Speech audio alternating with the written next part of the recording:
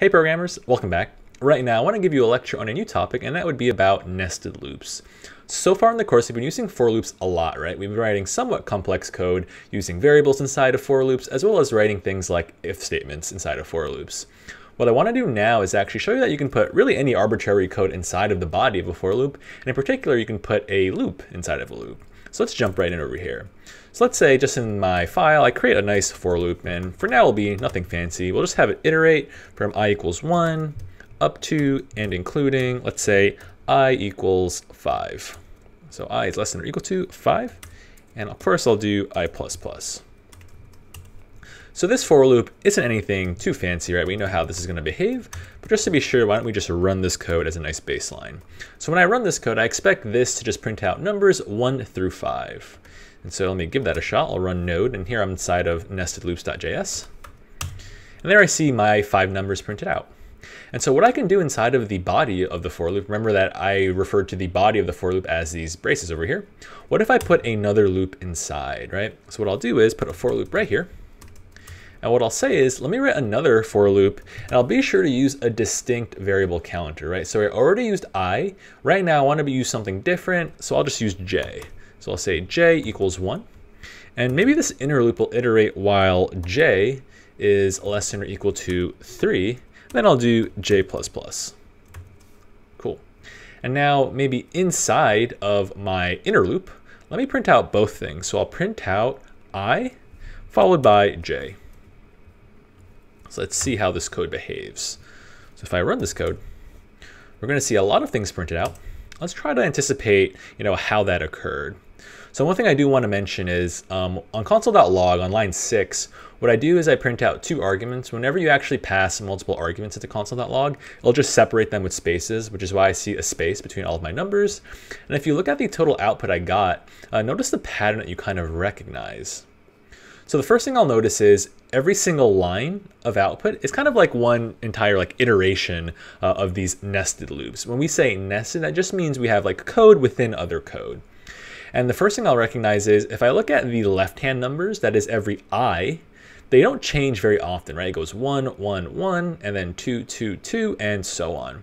However, if I look at the second numbers, that would be all of the J's, those change pretty fast, right? They go 1, 2, 3, 1, 2, 3, 1, 2, 3. If I look at how my counters change in isolation, they are somewhat predictable, right? So I know that every left-hand number represents an I, and my I's range from 1 to 5, right? From 1 over here all the way to 5 at the bottom.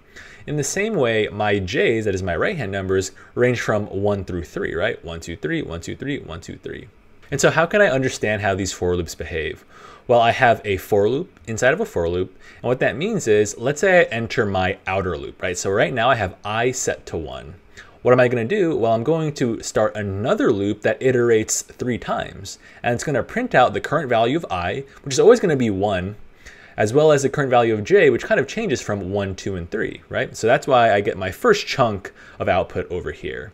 And actually, once I'm done running this entire inner loop, that would actually give me the second iteration of my outer loop. So now that means that i is equal to 2, and then I start my j loop again, right? So I have i equals 2, j equals 1, i equals 2, j equals 2, and so on. And only after I exhaust and finish my entire inner for loop do I actually increment my i, right? So that's kind of why the left-hand numbers change a lot slower uh, than the right-hand numbers. Uh, something that I'll do to maybe add some clarity is maybe instead of printing out both i and j, uh, within the inner loop, what if I only printed out i inside of the outer loop, right? So let me just console.log i over here. And then on my inner for loop, I'll just console.log its counter of j. And just to make things extra clear, I think what I'll do is I'll add some spaces uh, to this line 7. And so let me just add some nice indentation over here. I'll put like a few spaces. Let me go ahead and run this code now. Nice. And so like we said previously, every left-hand number is going to be an I, and every right-hand number represents a J. And here you can see kind of how often these different uh, variables actually increment, right? So on my first iteration, when I enter my outer loop, I have i equal to 1, and then I must run the entire j loop, right, all the way through. So 1, 2, 3. That means I'm finished with this j loop, which means now I kind of wrap back around, increment i, now i is 2, so I print it over here, and then do the same thing uh, for my j loop, right, run it all the way through. And so what I can say is my inner loop j runs all the way through for every single iteration of i, right? So I'm kind of repeatedly running uh, this J loop, which makes sense, right? Because whatever code I put inside of the body of a for loop, it's going to repeat that number of times. And so maybe to add some more clarity, let me add some relative print statements over here. So right around my inner loop J, what I'll do is console.log, and I'll say beginning J. Then I'll also, after that J loop is done running, print out finishing J. That way you can understand the relative order of things over here. So take a moment, try to predict what this will print out. And if I give this code a shot, there I have my output. So let's scroll to the tippy top. And so this code should make some sense, right? So I'm starting at the very beginning. I set i equal to 1, and I print out i. So that's why I see 1 over here. And then I must print out beginning j, right? Nothing fancy over there. And then I must run my inner loop all the way through. And I know that my inner loop will just print out numbers from 1 through 3, right? So that's why I get 1, 2, 3 over here. And after I'm done running this for loop, I must run any code afterwards, which means I print out finishing j. So that's why I see finishing j over here. And then from there, I'm done with basically this iteration of i, and now I increment i from 1, now it's 2. So I hop back to the top, I print out i, which is 2, and I do the same thing. I begin j, print out 1 through 3, then I finish j, and that continues all the way through. And then from there, it's really just some classic for loop behavior. What I really want us to recognize is kind of the pattern of what happens when you put a for loop inside of a for loop, right? You're going to repeat the inner loop in its entirety a multiple number of times. So let's uh, keep messing around with these for loops. Let me take out some of these console.logs and I'll switch things up a little bit. Maybe I'll have my inner loop j range from 1 through 4. Then I'll go back to putting my single console.log inside of uh, my innermost loop. So I'll print out i followed by j. And before I actually run this, I kind of want you to anticipate.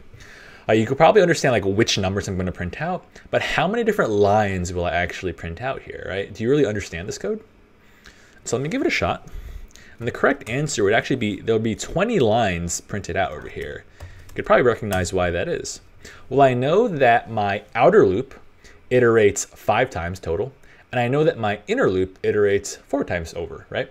However, my inner loop is going to be repeated for every single iteration of my outer loop. So I basically just do 5 times 4, and that would give me 20 total uh, iterations.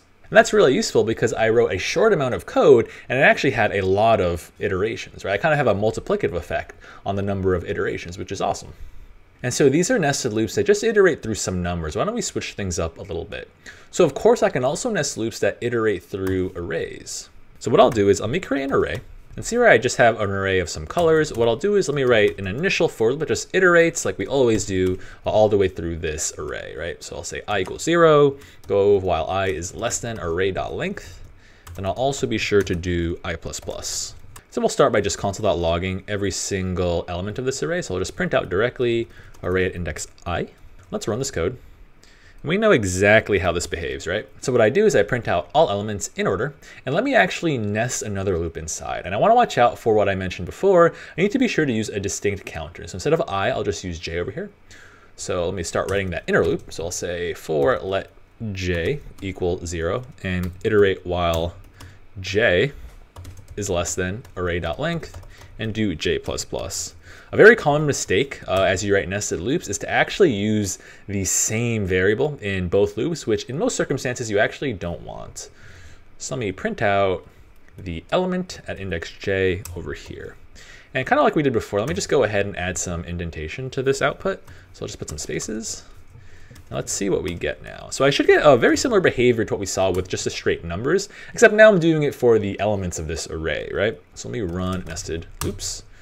And there I see it, right?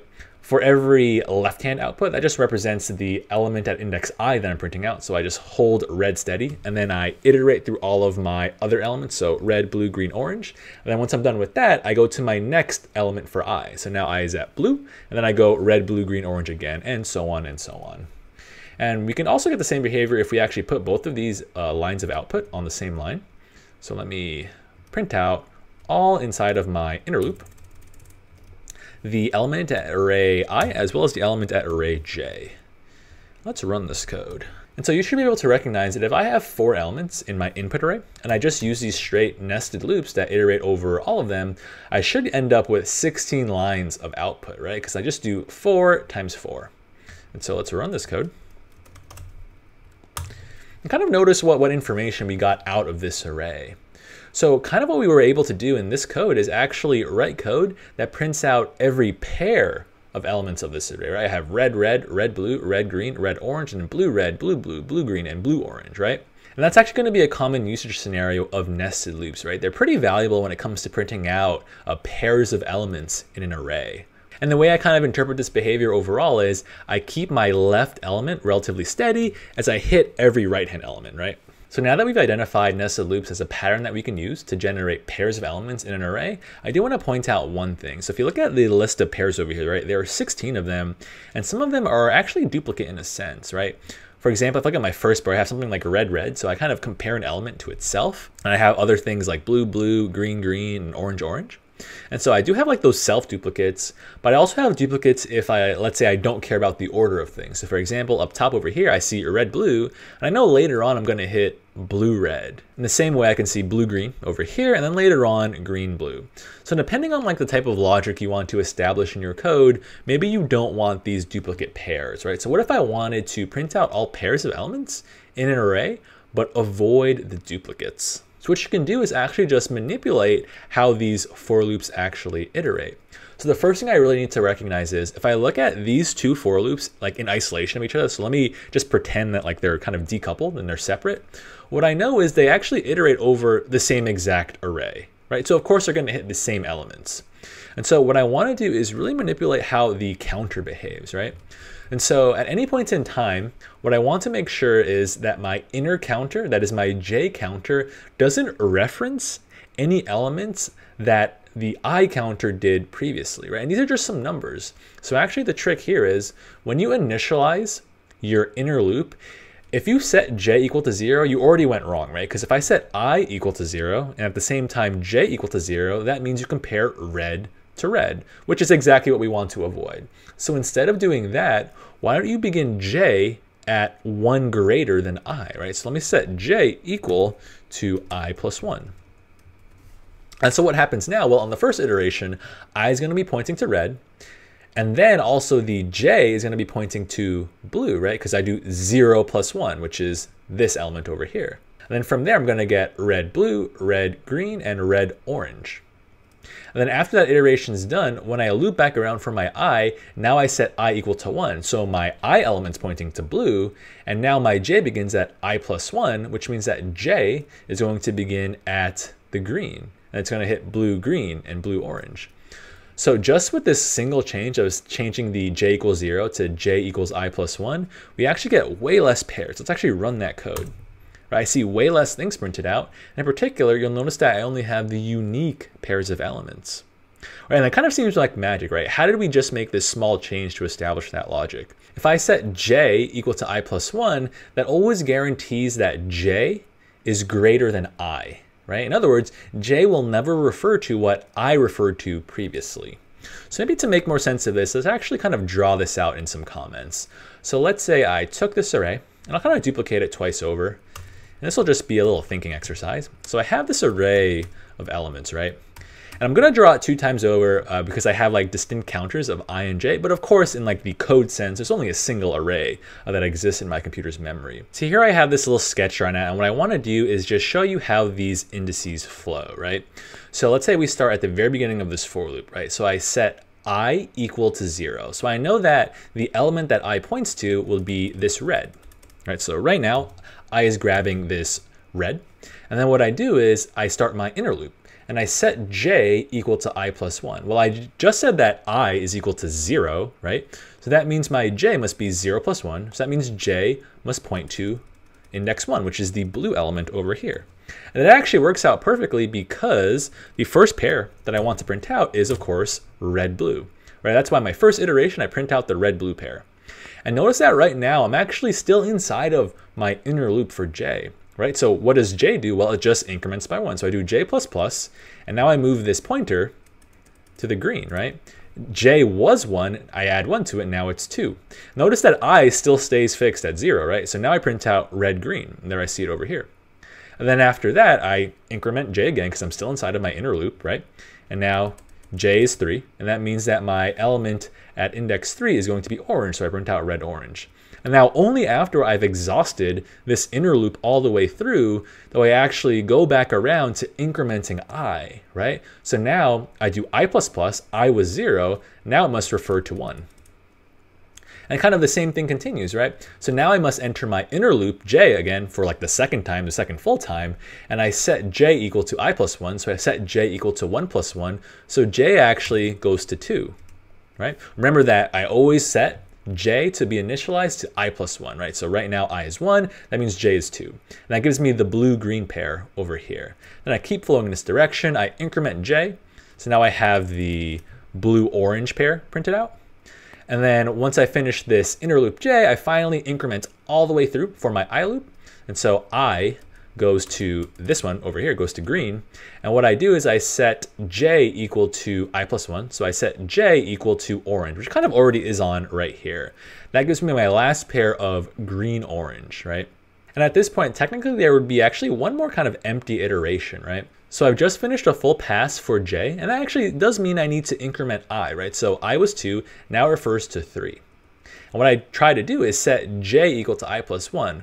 Well, that means that j would be set to 4, right? So 4 is kind of out of the range of this array. And if I did that, that means I'd be checking, is 4 less than the length of the array? That is, is 4 less than 4? That's false, so that means I actually exit this for loop and I'm done, right? So that's how I get no duplicates printed out over here. So hopefully now you understand a bit of the magic between using this pattern to avoid duplicates in your array pairs, right? And so overall, I can use this pattern of nested loops and setting j equal to i plus 1 to generate all pairs of elements in an array, uh, but also avoiding the duplicate pairs. It's okay for now if you find this nested loop pattern a little confusing. What I recommend you do is probably watch the last few minutes of this video again, but as we kind of do problems utilizing this pattern, we'll really iron this one out. So don't fret too much. All right, programmers, that's all I got for this one. In the very next video, what we'll do is we'll solve some problems utilizing these nested loops. So stay tuned for that.